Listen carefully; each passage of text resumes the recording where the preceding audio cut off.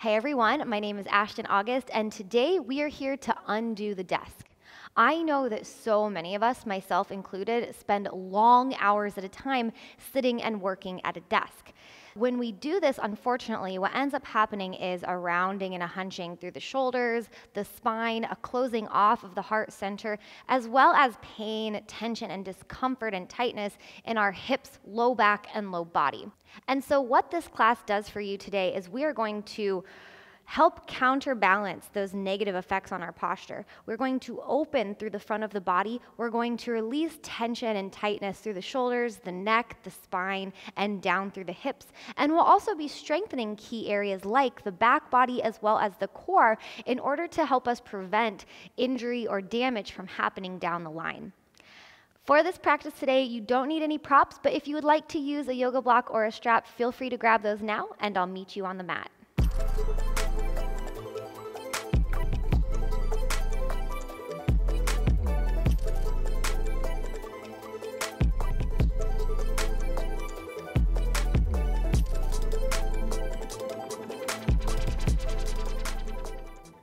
We are going to begin our practice today in a tabletop position. So meet me there on your mat. And as you arrive, just take a brief moment to check in with your alignment. Stack your shoulders over your wrists, your fingers are spread nice and wide, your hips are above your knees, and relax the top of the feet. Now, from here, I want you to immediately drop into some organic movement. Don't even worry about what I'm doing, because instead, I want you to tune in and find the areas of your body that might need a little TLC. So for me, that's my hips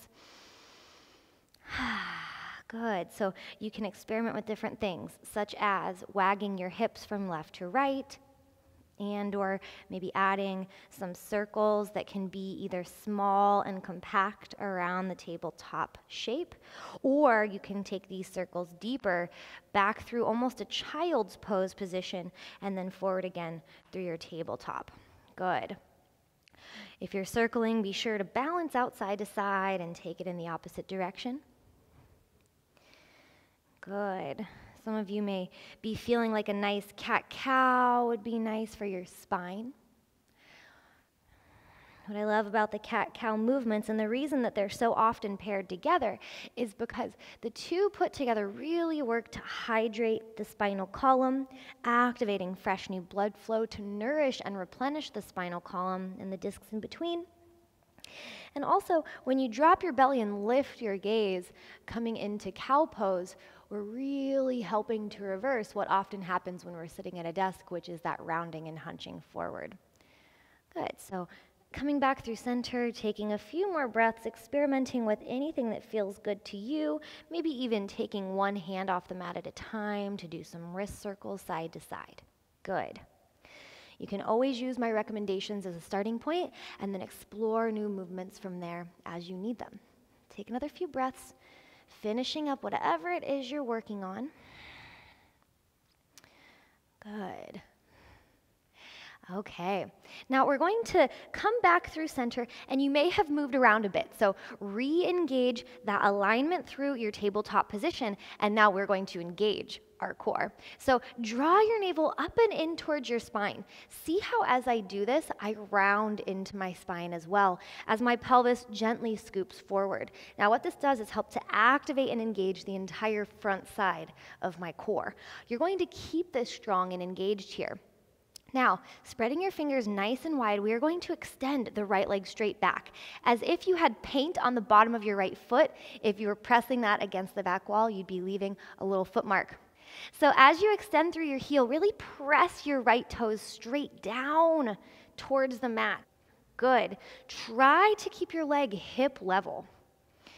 Now, notice if you lost any engagement through your core, really re engage that abdominal activation. Strong core. Good. Now, you're welcome to stay right here if this is plenty for you. If you'd like a little more, we're going to extend our left arm forward. So I'm reaching through the left fingertips, I'm kicking out through the right heel. What we're doing here is this is called a spinal balance. So we're getting a nice elongated spine from the crown of the head out through the tailbone. We're also really engaging the core here. So, a strong core will help support our low back and keep us safe as we sit at our desks. I even challenge you to keep your core active when you do sit at your desk, finding the same sensation that you feel here now. Good. Take another deep inhale breath, and this time we're gonna lift and kick a little higher, growing nice and tall through the heart. With your exhale, we'll crunch left elbow shh, to right knee. Inhale, extend and reach. Exhale, crunch and contract. Inhale, extend. Exhale, crunch. Let's hold here for three, two, and one. Extend. Good. Option to stay here for one more breath. Option two, you can bend your back knee and reach the left arm behind you now, really lifting through your heart. Final option here is perhaps you can find your foot and kick into your hand, helping to lift your heart. Good. And open your chest. Take another deep inhale, exhale wherever you are. Ah, very nice. Slowly, we'll release that back down and wag the hips a few times side to side. Now, before we move into side two, we're going to keep our hips directly stacked above our knees as we walk our fingertips forward, coming into extended puppy dog pose or heart melting pose. I love the name heart melting pose because that's exactly what we're doing here. As you reach your fingers as far as you can forward, you're allowing your heart to rest down towards the mat. You'll feel an opening through your upper arms, armpits, and then down into your side body. By keeping our hips stacked high over our knees, we're keeping the length in the spine. Good. So you can let your forehead rest down towards the mat. It may or may not make contact. Or you can choose to keep your gaze forward up towards your thumbnails. And this is a little bit of a neck traction here, which is also nice as a counterbalance to when we tend to hunch and round forward at a desk. Take a deep inhale, exhale with me. Mmm, so good. With your next breath, we'll slowly rise. We'll walk our hands back beneath our shoulders. Reposition yourself in your tabletop pose. Now, before we move into our side two spinal balance, let's give our wrists some love. So, we're going to begin by gently flipping the left hand down. So, the top of our left hand now is pressing into the mat. You don't have to put a lot of weight here. You're going to feel this pretty quick. Good. Now, you can play around with sending your seat towards your heels a few inches.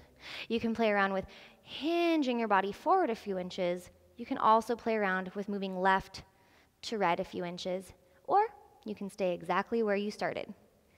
take another breath, be gentle here. Good. Okay, same side. Now we're just going to turn our left fingertips in towards the right hand. Our left palm is still facing up. Take a nice deep breath. Good.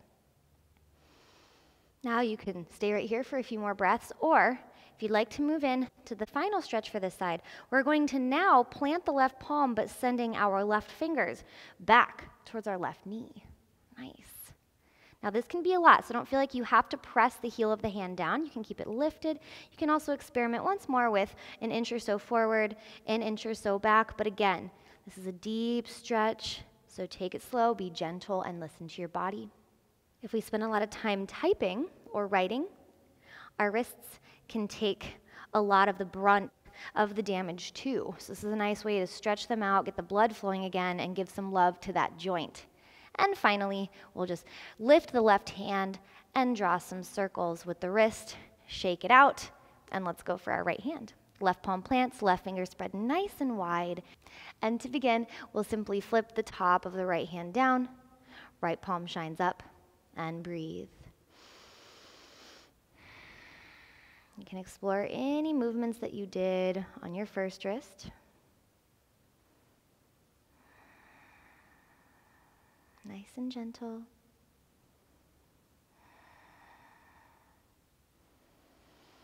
Good, and now we'll flip the right fingers in to face the left hand.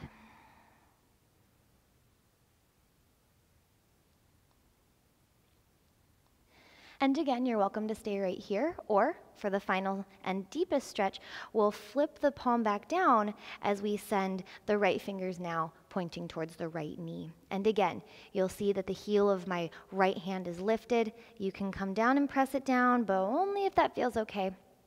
You don't need to do a lot here.